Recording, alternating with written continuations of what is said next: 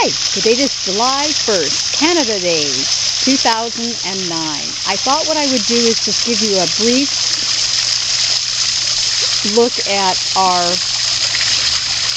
beach area. It's pretty much, I would say, 80% to 85% complete.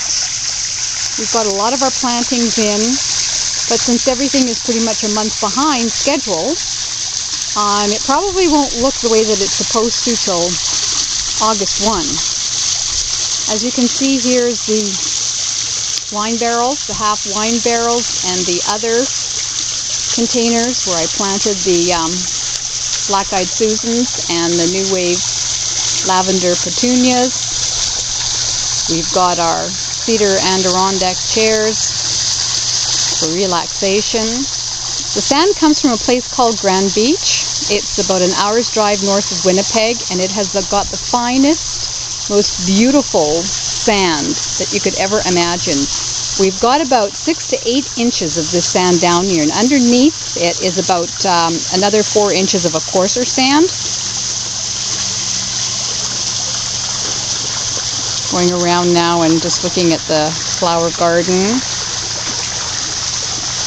And what I'm going to do now is just kind of shoot over this way and give you an opportunity to see the pond and my planted peninsula. And right in the foreground is our fire pit. There still needs to be work done on the fire pit, but boy have we ever used it. We roast marshmallows, we roast hot dogs with our grandson. Um, we just do schmores, if you know schmores. I mean, it's just awesome. We just have a just a super great time. Let me just back up a little bit more. Give the opportunity to see that our beach area, it's actually a pretty large area. It certainly um, handles a lot of people at once when they bring all their lawn chairs and whatnot. Just great. Anyway, there's my beach update for July 1, 2009. Thanks. Bye.